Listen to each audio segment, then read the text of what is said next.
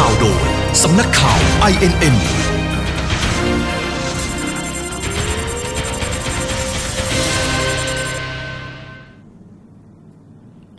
นาฬิกามาติดตามข่าวกับดิฉันปรางคณิตบุญเผยจากสำนักข่าว INN ค่ะ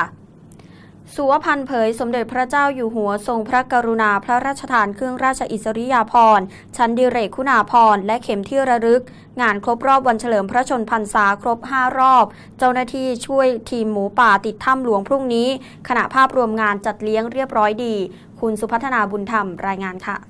นายสุวพันธ์ตันยุวัฒนารัฐมนตรีประจำสำนักนายกรัฐมนตรีเปิดเผยถึงการเตรียมความพร้อมในการจัดเตรียมงานเลี้ยงขอบคุณในงานยูนิเต็ดแอสวันทั้งทีมงานคนไทยและชาวต่างชาติ มีการอำนวยความสะดวกในการเดินทางเข้าพื้นที่ เตรียมจุดจอดรถรับส่งมายังบริเวณการจัดงาน และตั้งแต่ช่วงเช้าที่ผ่านมา ยังไม่ได้รับรายงานปัญหาข้อขัดข้องแต่อย่างใด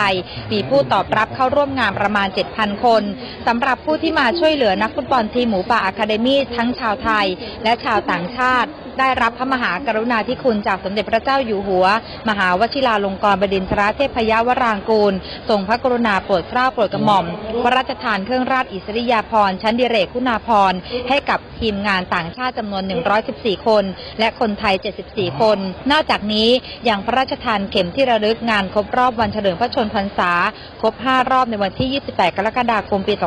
2555 พระราชทานให้กับทหารตำรวจพลเรือน ที่ปฏิบัติหน้าที่ช่วยเหลือทีมหมูป่าอะคาเดมี่ทั้ง 13 ชีวิต โดยจะมีพิธีรับมอบที่ทำเนียบรัฐบาลในวันพรุ่งนี้ เวลา 15นาฬิกา30 นาที โดยมีพลเอกประยุทธ์จันทร์โอชานายกรัฐมนตรีเป็นประธาน สุพัฒนาบุญธรรมผู้สื่อข่าว INN รายงานจากลานพระราชวังดุสิตค่ะ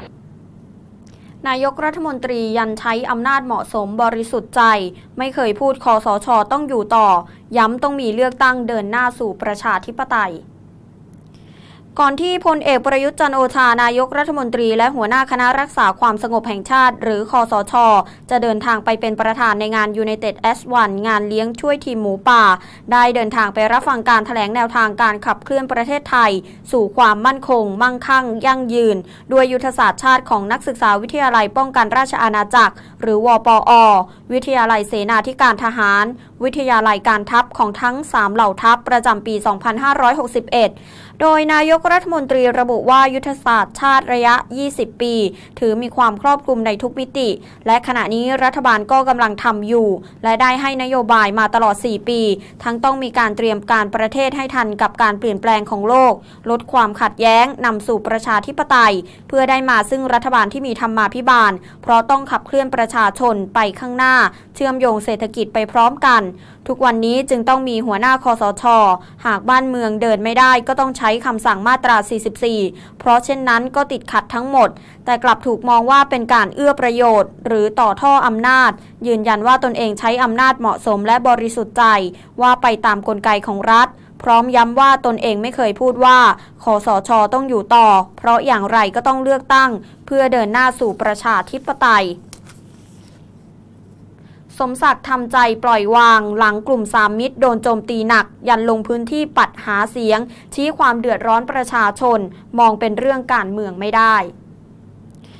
นายสมศักดิ์เทพสุทินแกนนำกลุ่มสามมิตร พร้อมด้วยนายอนุชานาคาไซแกนนำกลุ่มสามมิตรนายธนกรวังหวังบุญคงชนะโฆษกกลุ่มสามมิตร และสมาชิกกลุ่มสามมิตร รับหนังสือจากกลุ่มสมาคมชาวไร่อ้อย และสมาคมผู้เพาะปลูก ผู้บ่ม และผู้ค้าใบยาสูบ เพื่อขอความช่วยเหลือหลังได้รับความเดือดร้อน จากนั้นได้เดินทางไปยังอำเภอพรมพิราม จังหวัดพิษณุโลก เพื่อรับฟังปัญหาความเดือดร้อนในเรื่องราคาข้าว และที่อำเภอพรานกระต่ายจังหวัดกำแพงเพชร เพื่อรับฟังปัญหาความเดือดร้อนเรื่องการเปลี่ยนที่ดินสปกให้เป็นโฉนด ทั้งนี้นายสมศักดิ์กล่าวว่ากลุ่มสามมิตรจะทำหน้าที่เป็นไปรษณีย์ส่งเรื่องราวและข้อเรียกร้องต่างๆ สู่รัฐบาล เชื่อว่าทุกอย่างน่าจะดีขึ้น โดยการเดินทางไปหลายจังหวัด เพราะชาวบ้านเดือดร้อนและขอให้เป็นคนกลาง ในการส่งเรื่องไปยังรัฐบาล กลุ่มสามมิตรพยายามทำอย่างสุดความสามารถเพื่อช่วยเหลือ แม้เวลานี้กลุ่มสามมิตรจะถูกโจมตี เราก็พยายามทำใจและปล่อยวาง เพราะความเดือดร้อนของประชาชนจะมองเป็นเรื่องการเมืองไม่ได้ ก่อนทิ้งท้ายการมารับฟังปัญหาชาวบ้านนั้น ไม่ได้มาหาเสียงหรือทำเรื่องการเมืองจบการเสนอข่าว 19 นาฬิกา 4 นาทีค่ะ